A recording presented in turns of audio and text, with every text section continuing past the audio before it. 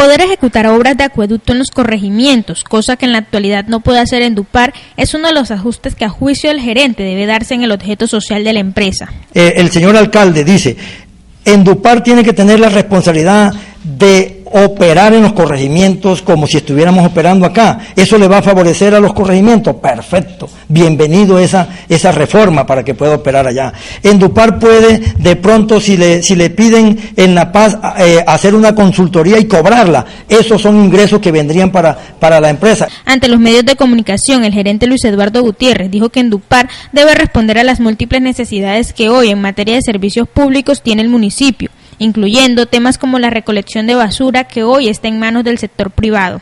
Yo puedo prestar energía, yo puedo ponerle la competencia Electricaribe acá, pero los estatutos en este momento no me lo permiten. Yo puedo prestar gas, yo puedo eh, limpiar los parques. Si la alcaldía me va a dar a mí un contrato para yo limpiar los parques, yo le tengo que decir que no porque el objeto eh, de los estatutos no me lo permiten. El funcionario reiteró que para ampliar el objeto social de la empresa se requiere el concurso de la junta directiva que preside el alcalde Freddy Socarrás. Como eso es una reunión de accionistas, son los dueños los que toman la decisión y miran qué tipo de empresa, por ejemplo, eh, qué tipo de, de, de servicio va a prestar, que eso es lo más importante.